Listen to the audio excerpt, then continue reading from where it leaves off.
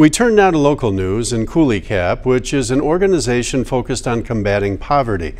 Earlier this year, Couleecap received a grant to continue providing resources at the REACH Center, such as housing navigation, homeless prevention, and mental health support. Then they received another grant to open a new resource office. News 19's Crystal Flintrop went to the REACH Center today for the grand opening of Couleecap's and the legal action of Wisconsin's new office the Tenant Landlord Resource Center. Dave, I had the chance to talk to some of the driving forces behind this project about the services that will be offered.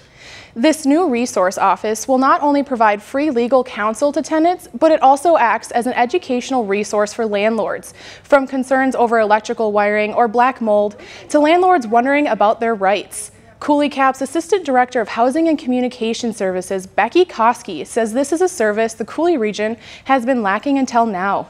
To be able to just provide that in a very open and accessible way is important, um, especially when people may be feeling very fearful about uh, issues that they're facing or, or potentially just housing instability in general. They need some help or some guidance.